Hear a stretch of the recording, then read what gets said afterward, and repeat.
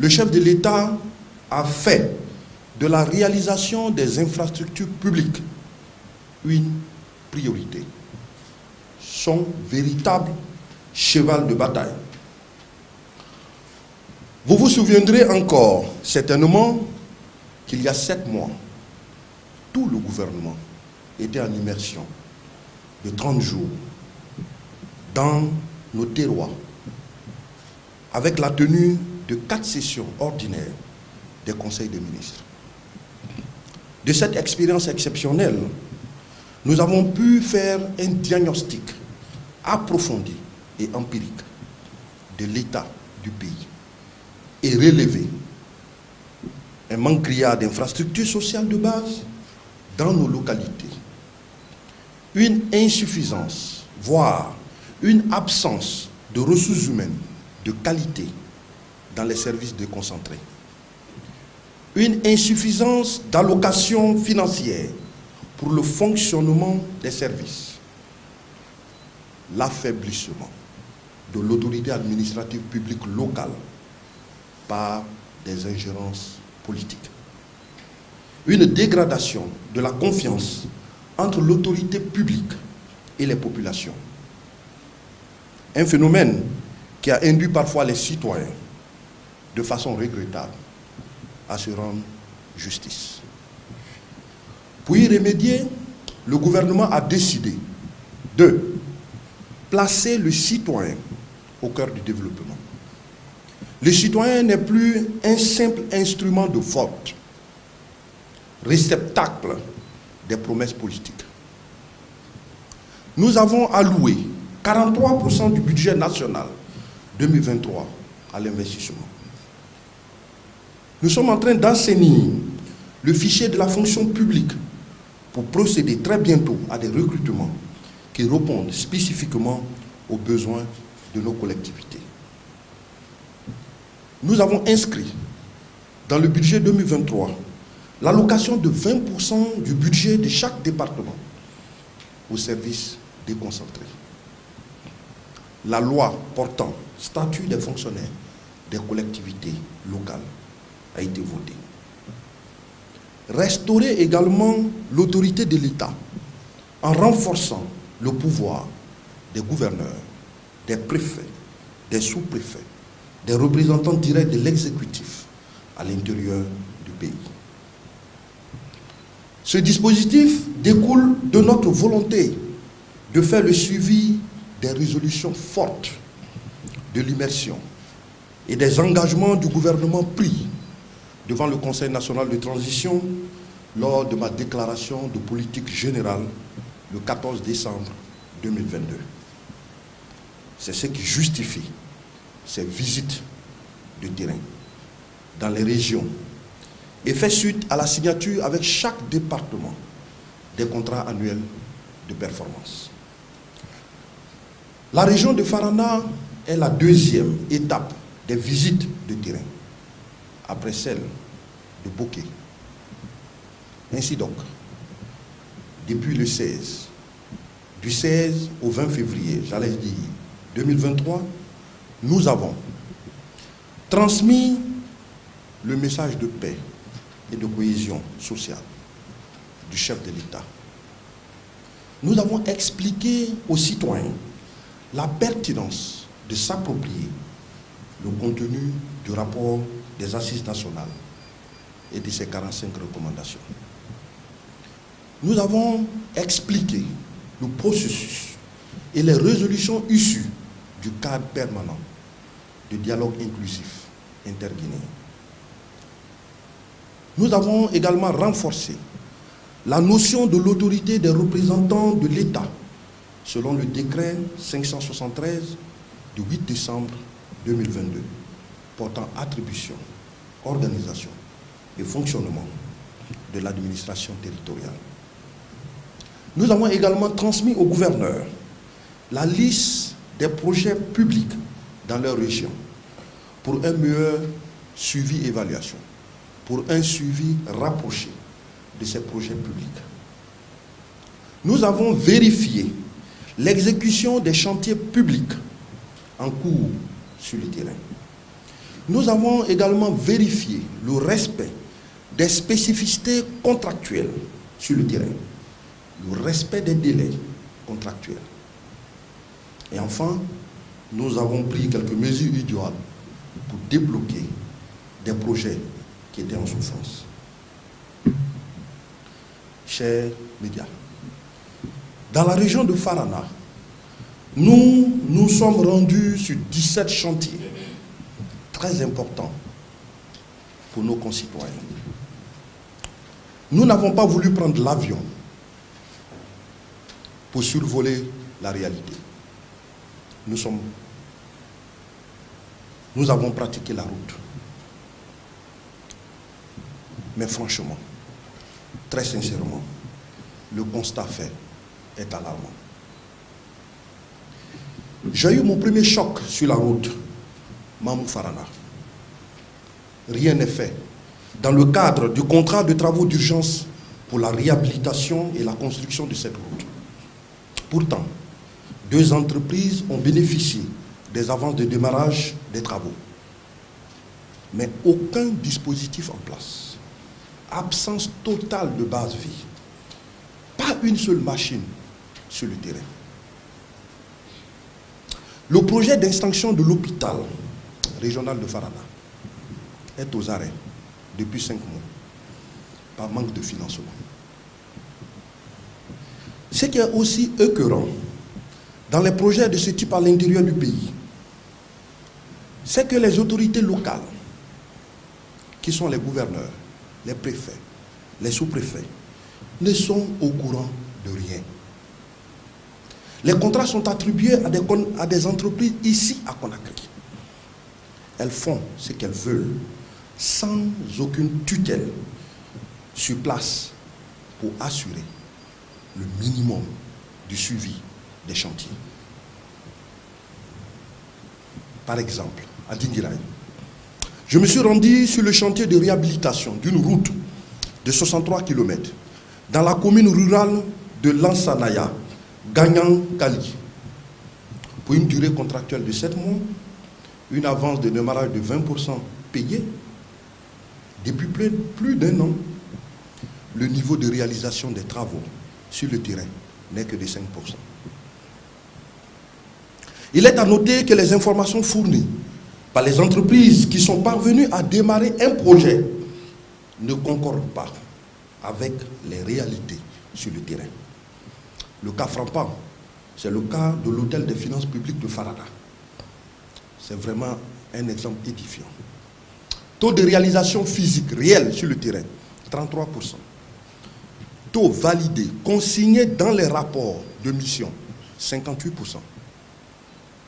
Tenez-vous bien, le taux de décaissement est de 60%. Une aberration totale. À Kissidougou, plusieurs chantiers connaissent un important retard. Le chantier de construction, par exemple, du tribunal de première instance,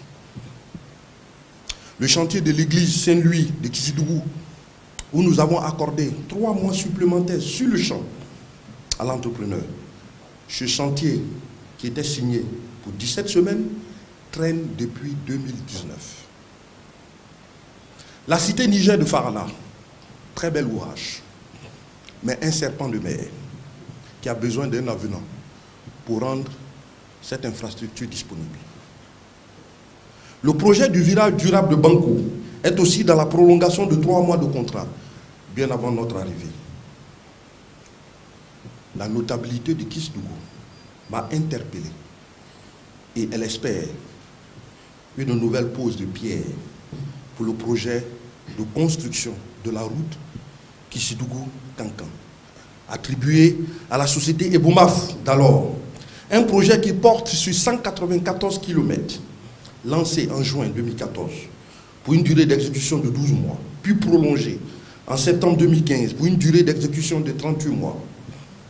Des paiements importants, avances de trésorerie, ont été consentis en faveur de cette entreprise et déquissés pas moins de 60 millions d'euros.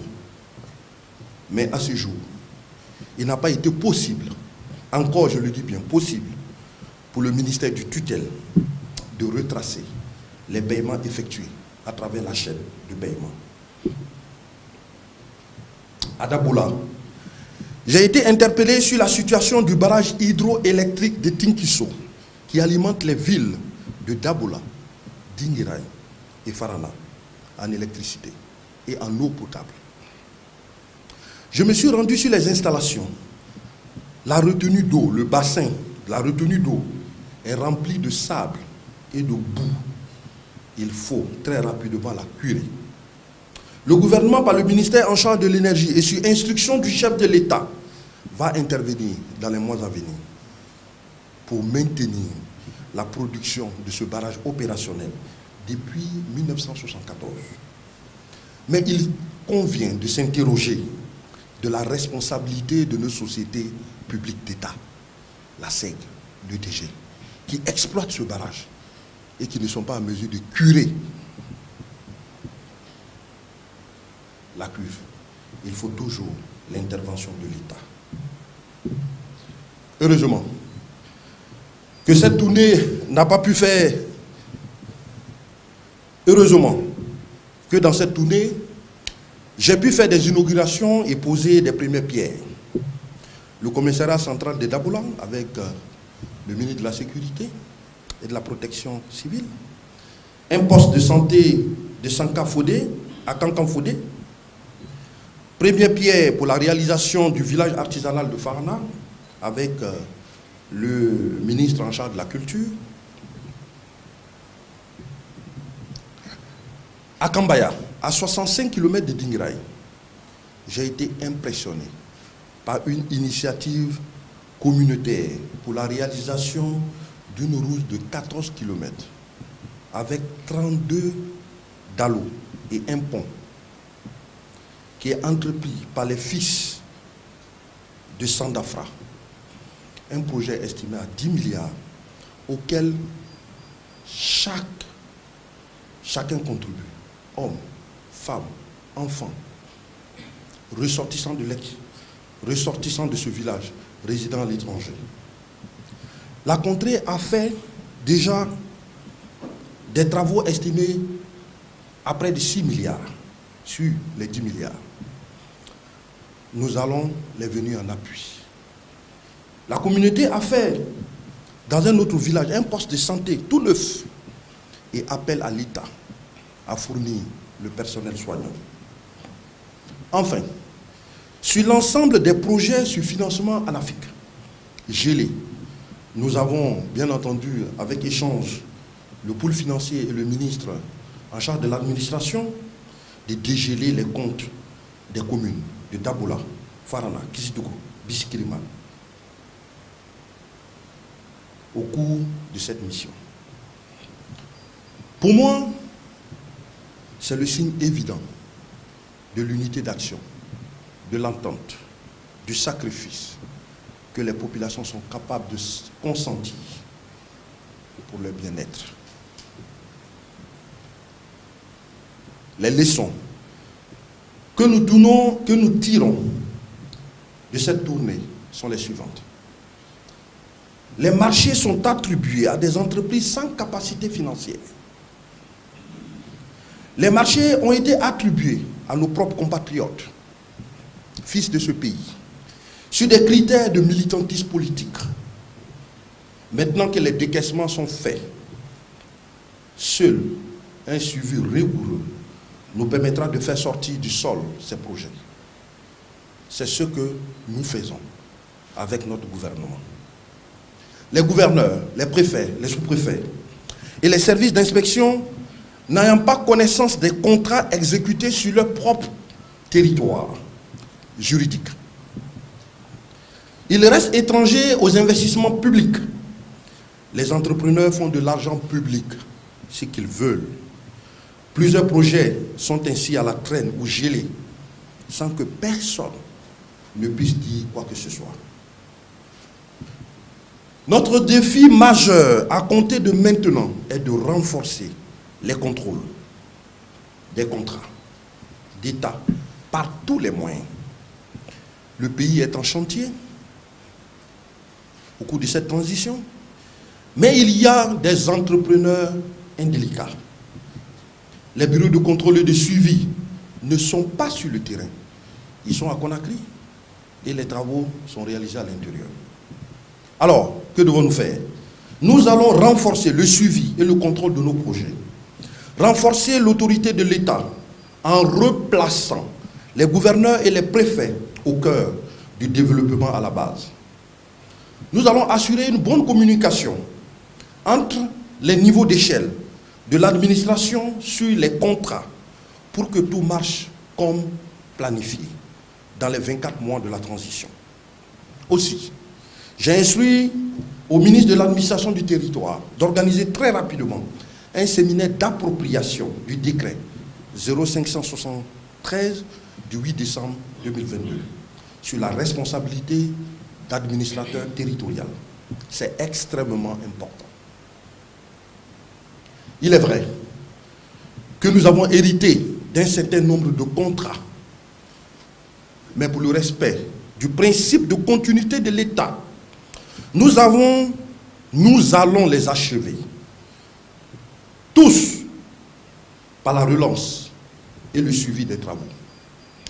Les chantiers que nous avons initiés depuis quelques mois seront réalisés dans les délais. Le commissariat central de Dabola, par exemple, est une parfaite illustration. Six mois de contrat, six mois de réalisation, délai respecté. Bien d'autres projets s'inscrivent dans cette démarche. Maintenant, Achetez le pack Airbox et Rise 55 à seulement 800 000 francs guinéens au lieu de 1 440 000 francs guinéens. Et... Après avoir vu ce que j'ai vu, rien que dans deux régions, Bouké et Farana, le tableau est tellement sombre qu'on a du mal à y croire. Je suis désormais convaincu que le retard de notre pays est en grande partie dû à l'exécution des contrats d'État, en particulier les contrats d'infrastructure. C'est pourquoi, dans les jours à venir, je vais sous l'autorité du président de la transition, président du CNRD, chef de l'État, chef suprême des armées, le colonel Mamadi Doumbouya, une importante opération de vérification des critères d'attribution et de gestion des contrats seront minés à tous les niveaux.